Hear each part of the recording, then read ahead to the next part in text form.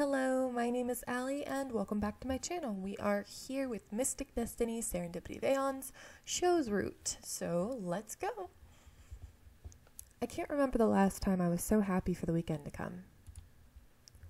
It's been a few days since the meeting between everyone, and since then they have been intensely supportive for, of me. And more than a little overprotective, going so far as to play quote unquote bodyguards on rotation, which meant I barely had any time for myself. I can't believe I managed to actually convince them to knock it off for now. In the end, all it took was me saying that I would just stay home all weekend.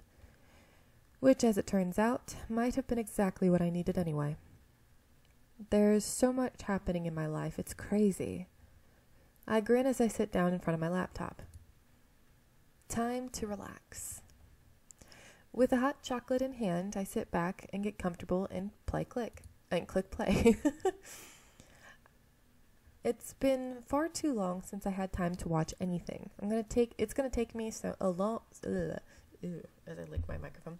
It's gonna take me so long to catch up to the new episodes. I have to say, I love how she's got this huge ass TV right here, but she decides to watch episodes on her computer, on her laptop. Man, I'd be using a TV, honey. We don't have a TV at our place. We just, if we want to watch videos, we watch it either on YouTube or Netflix. We don't, and I don't want my son watching TV constantly anyway either. So, I use one of my old TVs. It's itty bitty TV as one of my other computer monitors. I feel giddy at the thought of just relaxing all day and watching anime. It doesn't take me long to finish an episode, and it's only then I no- I do notice that I received an email from Sho. Oh, Sho. He's such a worrywart. I bet he's checking up on me again. Hey, I'm sorry I didn't say anything before, but I followed Julius around.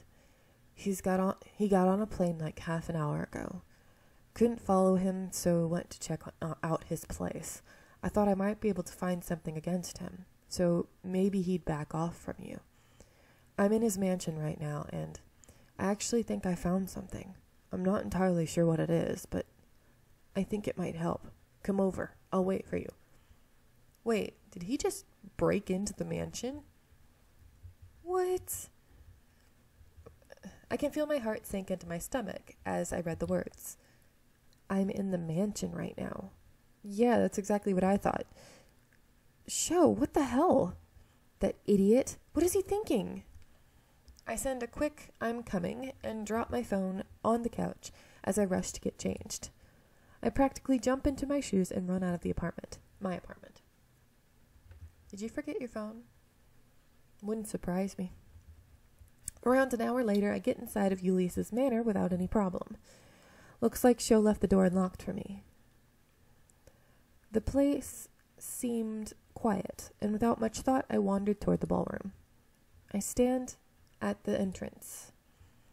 Filled with only silence, it seems different somehow, vast and empty. I look around. Hello? Sho? Are you here? I walk further into the empty ballroom. Sho? This is pointless. I should just call him and ask where he is. I reach in my pocket I reach into my pocket for my phone only to realize that I forgot to take it with me. How did I guess that was going to happen? How did I guess that? They usually don't say anything about I threw my phone down if they're not going to Yeah, leave it. I sigh. Damn it. No choice then. I take a deep breath and yell at the top of my lungs. Sho, where are you? No answer. I sigh again. Maybe he's upstairs then. I turn to leave the ballroom when I hear a soft thud. I stop in my tracks and look back. For a second, I wonder if I'm seeing things. A mop of blonde hair peeking out from behind one of the pillars. I feel sick. I step closer and closer. My heart nearly stops when I see Sho slumped over by one of the far off pillars. Sh- Sho? I run towards him and nearly slip on the stone floor. When I reach him, I freeze. On the ground is Sho, bound and gagged. What? Upon seeing me, he looks up at me wide eyed, and I gasp at his bruised face. Oh my god, Sho, what happened? With a shaky hand, I remove the tape from his mouth, and almost immediately he yells, Run, Munchie. Oh no. Sho. Oh, it breaks my heart. Oh. What? Sho? Please, it's Julius. He caught me last night and used my phone to email you. Just leave me here and run. An unpleasant chill shoots through my spine. He's not here, though, is he? and don't be ridiculous. I'm not leaving you here. I just have to get these damn ropes off of you. I ignore my hammering heart and work on untying Sho. Sorry with my voice being raspy. It's early morning for me. no, I don't think he's here. Sorry, let me take a drink.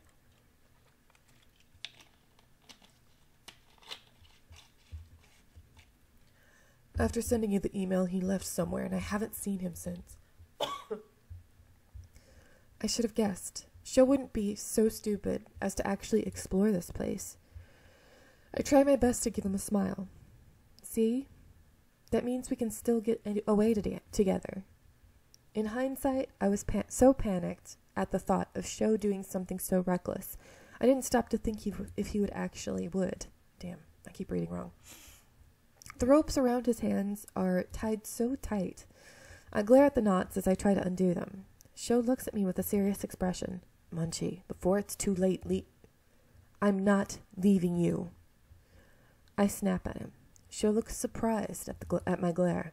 I won't leave you. I whisper and get back to untying the ropes. With one last tug, they fall apart. Hmm? Surprised by my success for a moment, I forget to react. No, Munchie, this isn't the time to space out. I jump to my feet and Sho quickly gets up. We look around, but the ballroom still seems to be empty. Maybe we're lucky that Julius and Julius got delayed somewhere. I hear Sho whisper from behind me. Yeah, maybe. This is getting intense. I have a bad feeling, though. That's exactly what I was feeling. Bad feeling. Let's get out of here before he decides to show up. We silently move through the room. We make it halfway across the ballroom when I hear a metallic click from above. I look up just to see one of the chandeliers detach and fall. Uh, I jump back, pulling Sho along with me, barely in time to dodge the falling object. Ugh. I miscalculate my steps and trip, falling backward and pulling Sho down to the ground with me. As the chandelier hits the floor, it shatters into a million pieces, scattering everywhere. This is getting intense. Sho somehow manages to cover me with his body. I can feel him stiffen at the impact as the glass hits him full on. The dust settles, and we look up. A slight spark in the air catches my attention. It grows, and a whirlwind of black flame bursts through. Fourth. Oh. Holy smokes. Those wings. The nails, holy crap. Anyway, the flames scatter with the sound of flapping wings, revealing Julius in his true form. His massive black wings push away the remaining flames. As his red eyes settle on me, I realize that I can't breathe. Even with Sho next to me, I suddenly feel so cold. Julius smirks, playing with a bl small black flame in his hand. I see I picks right. He briefly glances at Sho before his eyes settle on me again. I was wondering whether you would come to save come save the fake Phoenix, and it appears I was correct. Julius seems to completely disregard Sho's presence and look at me. I'm a little disappointed, though. I was expecting more of you, little butterfly. But to have you fall for the very first thing I did, I tried, laughs. well, that's more than a little pathetic. I muster everything I have to, into a glare. Normally I wouldn't have fallen for it. Now that I think about it, that message was plenty suspicious. But the very thought of Sho in any kind of danger sent me in a panic. I rushed out without even thinking about the psycho that's after me. I look to my side at Sho. I nearly gasp at the glare he's sending Julius's way. I've never seen him look so pissed off. Before I can react, Sho jumps to his feet. Just shut up already.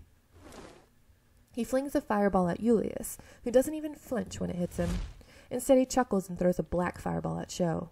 Sho barely manages to, ra- to raise a wall of fire as a shield, but when Julius's fireball hits it, the sheer impact sends Sho flying backwards. He flies right into a pillar with all with an all too loud thud and slumps down to the ground. Sho! I move to get up and run to him, but one of but out of the corner of my eye I see Julius start to move closer. The predatory glint in his red eyes makes me swallow hard. The grin he gives me is positively sadistic. There is one little thing I forgot to mention about how I'm going to take your power. My darling butterfly, I need to break you, both mentally and emotionally, before I can take your powers. Break me? Shall I bind you? He glances at Sho. Play with the little bird of yours right in front of you? Perhaps, when I'm done with him, I'll go after your dear father and sister. I can't move. Oh, might you be surprised I know about them? I know everything about you, little butterfly. My subordinate made sure of that. Specifically, a lovely young lady with black hair. Might be the ring. Might that ring a bell? No, sh- she was. All that time, weeks before I ever met him, Julius was the one who was truly hunting me. Julius chuckles. This ritual normally kills people, but you can't die, so I wonder. It'll be an interesting experiment, testing the endurance of a true immortal. My body is shaking. Move! He seems to notice my frozen state and laughs, amused in, at my terror. It's a shame you're the only one I contested on. There is another, but he's impossible to catch. It's unfortunate, but one immortal is more than enough. Who is he talking about? He's impossible to catch. So it's a man. Hmm. That's immortal. Anyway, sorry. I was just thinking about it, going, what? Okay. He walks towards me at a leisurely pace, step by step. I can't stop shaking. I can't move. What do I do? Munchie. Huh? Sho's voice brings me back to my senses. I look back to see him clutching a bleeding arm but my eyes shine with defiant fire. Suddenly, I feel my terror melt away. Without hesitating, I get up and get into a fighting stance, both fists cl- clenched. There's no way in hell I'm going to just let you do what you want. Julius stops and gives me an odd look. Then, as if the very thought of me stopping him is somehow the most ridiculous thing he's ever heard, he bursts out into laughter. My eye twitches in irritation. you Stop me? Do you even know what you're doing? You are so new at this. You have. Have you ever been in a real fight before, girl? We are going to admit it. In the moment of pure frustration, I decide to just admit it. There's no point in lying. He'll see it all for himself anyway. So maybe I don't quite know what I'm doing. But that will not stop me from trying. At first, Julius doesn't say anything, but his expression says it all that he's right and I know nothing. So I was correct after all. Although, I'm not surprised.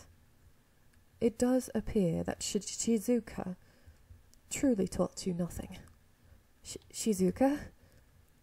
Her name is the last thing I expect to come out of his lips. Oh, surprised I know that name. He chuckles. It appears she kept many secrets from you. Julius begins slowly walking back and forth as he speaks. My eyes follow him as if he was a viper that might strike at any moment, but he never takes a step toward me. He just enjoys the sound of his own voice, or he's doing this to mess with me, probably both. Ah, the legendary sorceress Shizuka. There are few who do not know of her a woman so skilled and powerful. She could stand her ground against the gods, all on her own. He pauses, a smile tugs on his lips. However, it's anything but gentle. And then there's you. I admit it. I went after you because I knew defeating Shizuka would be impossible. When she gave up her powers like that, I saw it as an opportunity. I'm sorry to say, little butterfly, you are very easy prey. Regardless of what he says, he doesn't look sorry at all.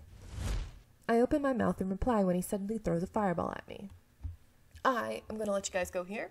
I hope you are enjoying. It's getting intense. See you next one. Bye.